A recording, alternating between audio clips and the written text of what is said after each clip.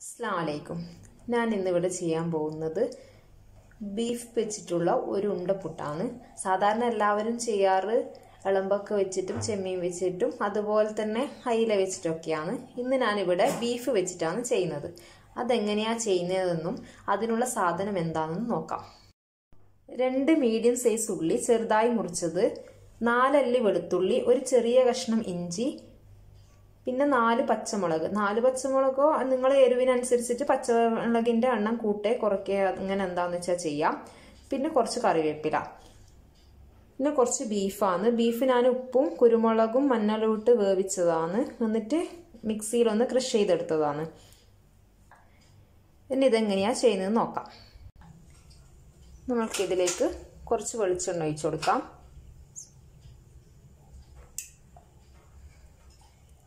അതിലോട്ടേക്ക് എണ്ണ ചൂടായതിനു ശേഷം ഉള്ളി ഇട്ട് കൊടുക്കാം. ഇനി ഇതിലോട്ടേക്ക് ഉള്ളി ഇട്ട് കൊടുക്കാം. ഇളക്കി കൊടുക്കാം. ഇനി ഇതിലോട്ടേക്ക് കുറച്ച് ഉപ്പിട്ട് കൊടുക്കാം.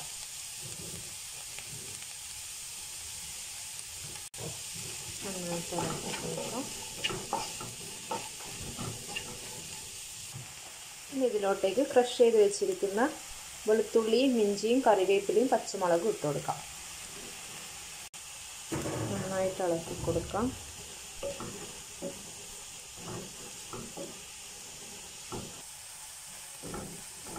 നന്നായിട്ട് കൊടുക്കാം ഇതിലോട്ടേക്ക് മഞ്ഞൾപ്പൊടിയും ഗരം മസാലയും ചേർത്ത് കൊടുക്കുക കാൽ ടീസ്പൂൺ മഞ്ഞൾപ്പൊടി. ഒരു അര ടീസ്പൂൺ ഗരം മസാല.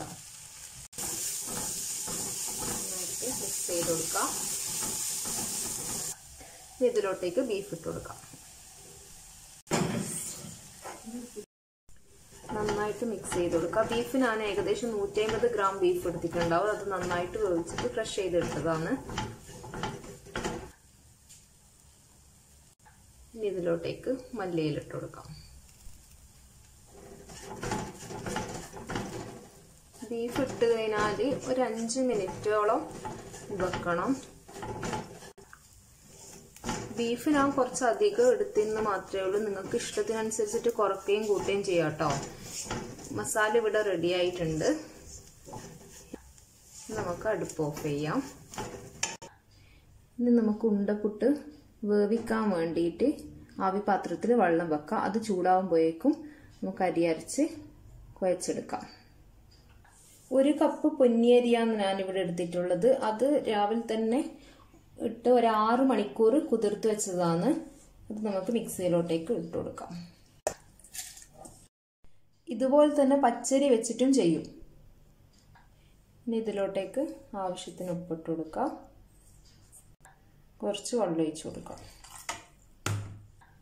ഇനി ഇത് നന്നായിട്ട് അരച്ചെടുക്കാം. അരി നന്നായിട്ട് അരച്ചിട്ടുണ്ട്. ഇനി നമുക്കൊരു പാത്രത്തിലോട്ടേക്ക് മാറ്റാം. ഇനി ഇതിലോട്ടേക്ക് അരിപ്പൊടി ഇട്ട് കുഴച്ചെടുക്കാം. നന്നായിട്ട് കുഴച്ചെടുക്കാം. ഇവിടെ നമ്മുടെ മാവ് ഇവിടെ റെഡി ആയിട്ടുണ്ട്. ഇത് നമുക്ക് ഉരുട്ടിയെടുക്കാം. നമുക്ക് ഉണ്ടപ്പുട്ട് ഉരുട്ടിയെടുക്കുമ്പോൾ കുറച്ച് തേങ്ങയും കൂടി ആവശ്യമുണ്ട്. ഞാനിവിടെ ഒരു അരമുറി തേങ്ങ എടുത്തിട്ടുണ്ട്. അത് നമുക്ക് കയ്യിൽ കുറച്ച് എണ്ണ തരുക അതിനുശേഷം ചെറിയ ഉണ്ട എടുത്ത് ഇങ്ങനെ പരത്തി ഇതുപോലെ പരത്തിയെടുത്തതിന് ശേഷം ഇതിന്റെ ഉള്ളിലേക്ക് മസാല ഇട്ടെടുക്കാം. എന്നിട്ട് നന്നായിട്ട് ഇങ്ങനെ മൂടി ഒന്നും കൂടി ചെയ്യാം. എന്നിട്ട് ഈ തേങ്ങയിൽ ഒന്ന് ജസ്റ്റ് ഒന്ന് ഉരുട്ടിയെടുക്കാം. ഇനി ഇത് നമുക്ക് ആവിപാത്രത്തിലോട്ടേക്ക് ഇട്ട് കൊടുക്കാം. അങ്ങനെ എല്ലാ മാവും ഇതുപോലെ തന്നെ ഉരുട്ടിയെടുക്കാം. നമ്മൾ മുഴുവൻ മാവും ഉരുട്ടി വെച്ചിട്ടുണ്ട്. ഇനി നമുക്കിത് അടച്ച് വെച്ച് ഒരു പതിനഞ്ച് ഇരുപത് മിനിറ്റ് കുക്ക് ചെയ്തെടുക്കാം. അങ്ങനെ നമ്മുടെ ഉണ്ടപ്പുട്ട് റെഡി ആയിട്ടുണ്ട്. ഇരുപത് മിനിറ്റ് ആയിട്ടുണ്ട്. ഇനി നമുക്ക് അടുപ്പ് ഓഫ് ചെയ്യാം. ഇത് തണ്ണതിന് ശേഷം നമുക്കൊരു പാത്രത്തിലോട്ടേക്ക് മാറ്റാം. അങ്ങനെ ഉണ്ടപ്പുട്ട് ഞാനൊരു പാത്രത്തിലോട്ടേക്ക് മാറ്റിയിട്ടുണ്ട്. ഇഷ്ടപ്പെട്ടിനെങ്കിൽ എല്ലാവരും ലൈക്ക് ചെയ്യുക അതുപോലെ തന്നെ സബ്സ്ക്രൈബ് ചെയ്യുക. എന്തെങ്കിലും ഉണ്ടെങ്കിൽ കമന്റ് ബോക്സിൽ പറയുക. അസ്സാം വലൈക്കും